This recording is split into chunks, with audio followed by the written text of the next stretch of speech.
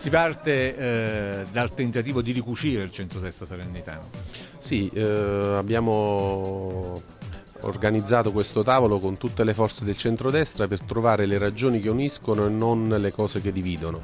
Un tavolo aperto eh, però a tutta la società civile, non chiuso alle segreterie dei partiti e quindi noi eh, cercheremo di ragionare su dei programmi di modelli alternativi da proporre per la città di Salerno che partano da una minore tassazione perché in questi giorni abbiamo visto che la tassazione della città di Salerno è una tra le più alte d'Italia. Anche perché il 2016 non è poi così lontano.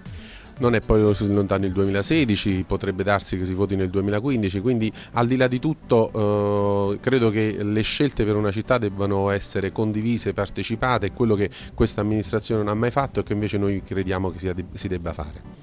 È più facile trovare eh, ragioni per stare insieme oppure è abbastanza difficile? Ma credo di sì, noi vogliamo essere un modello anche, non solo per tutta la provincia ma anche per altre realtà.